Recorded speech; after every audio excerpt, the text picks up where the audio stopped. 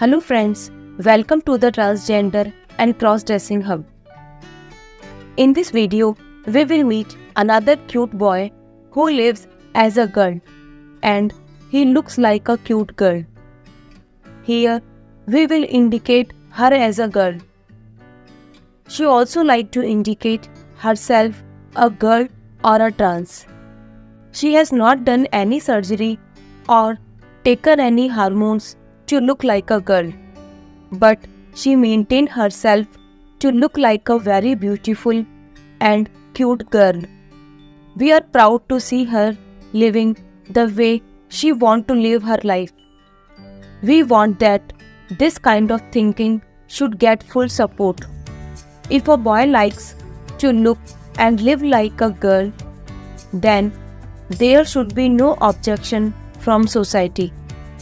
After watching this video, many boys will definitely be jealous, but at the same time, they will also get inspiration. There are many boys who may identify as girls and may choose to live as a girl.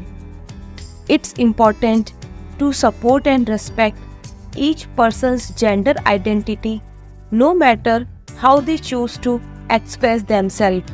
It's also important to provide a safe and inclusive environment for individuals who identify as transgender. Please respect and support transgender and trans people so that they can live freely in the society without fear. I always support transgender and crossdresser through my channel. If anyone has any objection to my content, then please let me know by commenting. I hope you have liked this video. For more video like this, please subscribe to my channel and press the bell icon to get notification of new videos. Thank you.